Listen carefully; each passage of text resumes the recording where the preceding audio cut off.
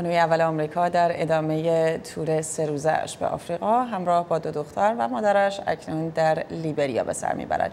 این سفر برای کمک به بهبود وضعیت آموزشی دختران در آفریقا انجام شده.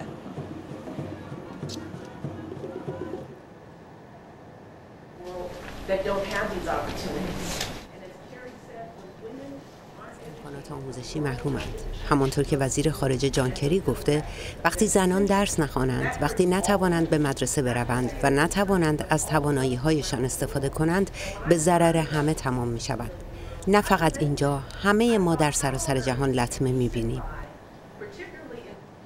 بنروز معاون مشاور امنیت ملی کاخ سفید در توضیح سفر میشل اوباما می‌گوید کاخ سفید معتقد است آموزش و تقویت روحیه جوانان تاثیر زیادی در این منطقه خواهد داشت به ویژه که بخش عمده جمعیت آن را جوانان تشکیل می‌دهد.